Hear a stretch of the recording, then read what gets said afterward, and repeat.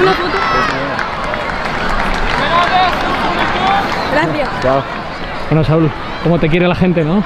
Bueno, al final, al ser uno más de ellos, al final te demuestran el cariño y la verdad que es muy bonito.